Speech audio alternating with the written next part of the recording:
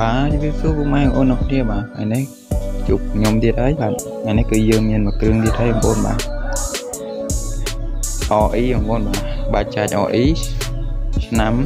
2019បាទបងប្អូនបាទគឺ019បងប្អូនបាទទឹកថ្នាំស៊ីនមួយជុំតែម្ដងបងប្អូនបាទកង់3នេះទឹកថ្នាំស៊ីនមួយជុំ